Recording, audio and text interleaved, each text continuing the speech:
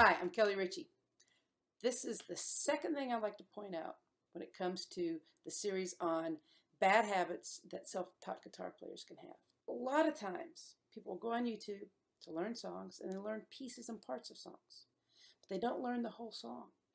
There'll be areas that when they can't play or they can't figure out, or maybe they can play it mechanically, but it just kind of stays rough and they never really get it. Usually that's because they're trying to play the whole song. So the strong parts get stronger and the weak parts stay weak. Anytime that there's a section of a song that's not really, you know, that strong or you're anticipating, oh no, am I going to get it this time? Hit pause, extract that part of the song and work it until you've got it.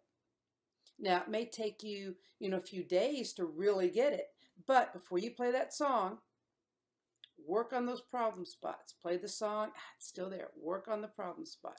Bounce back and forth.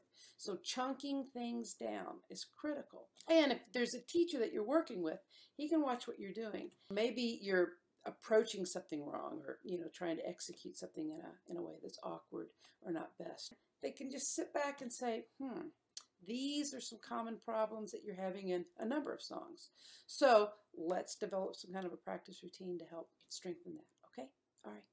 Kelly Richey. Hopefully this helps. All right, bad habits. Let's clean them up.